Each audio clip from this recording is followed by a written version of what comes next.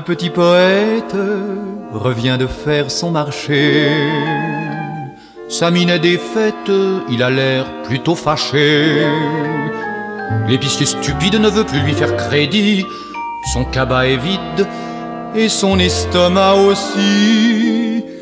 Dans sa petite mansarde illuminée par tous ses rêves étoilés, il veut mourir. Une cordelette, c'est suffisant pour seul témoin son chien tout blanc. Faut pas faiblir, m'amuse mon ange. Merci pour tes jolis vers. Aujourd'hui je change, je suis en plein fait d'hiver. Le petit poète, affamé, désespéré, sans regret s'apprête à passer de l'autre côté. Ah mais la minute, il compte sans son petit chien qui pleure et chahute. Les pauvres bêtes, ça comprend bien. La fille du cinquième, à tout hasard un peu curieuse, est venue voir. Elle a bien fait. Si elle a crié miséricorde, elle a tout de même coupé la corde.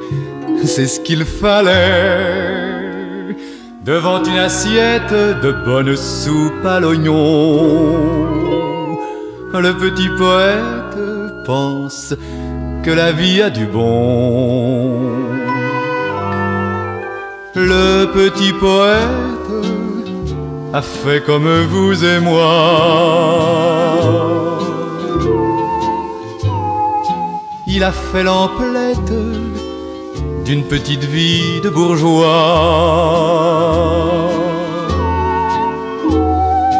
Fini la bohème, les rêves de farfelu.